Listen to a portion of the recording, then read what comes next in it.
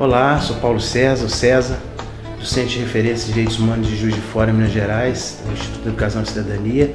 Estou aqui hoje para poder convidar a todos e a todas para o nosso fórum em Brasília, de 10 a 13. É muito importante a participação de todos e todas.